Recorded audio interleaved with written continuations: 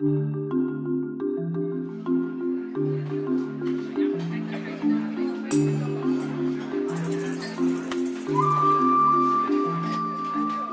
staan hier in het Sint-Antonius ziekenhuis in Nieuwegein.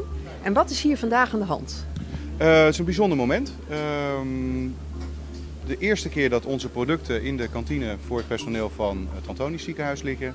We hebben yoghurts meegenomen, uh, stoofpeertjes volgens oma's recept van de gift uit Nieuwegein, vers fruit, uh, jams van geken, verse sappen. Ehm, en dit is een eerste testopstelling om het personeel in contact te brengen met de mooie producten uit de streek.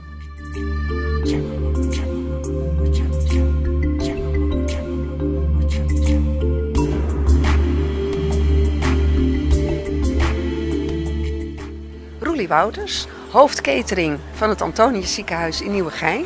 Ja. Jullie hebben hier vandaag een proef, hè? Klopt, we hebben een proef met local to local. Uh, streekproducten willen we uh, hier uh, presenteren uit, uit onze omgeving.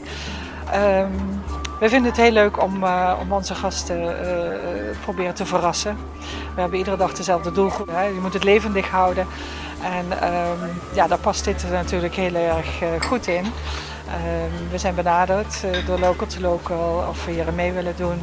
En ja, in ons restaurant past dit. En,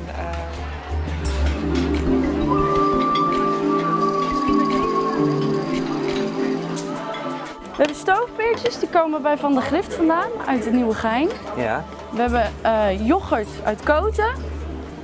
Jam, die komt bij mij thuis vandaan, uit Schalkwijk. Appels en peren uit de Krommerijnstreek. Lekkere appelsapjes uit de Krommerijnstreek. Ik zou Ik zeggen... wil graag stoofpeer. Dag mevrouw, u werkt hier in het uh, Antonius uh, Ja, ziekenhuis. Al, ja. al heel lang, dus uh, goed naar mijn zin. Ja. en hier staan allemaal lokale producten. Wat Ja. vindt u daarvan? Ja, geweldig. Is gezond. Dus eh, ja, hè? waarom zou je het niet promoten in het ziekenhuis hier? eh, hè? Om het personeel ook gezond te houden. Eh.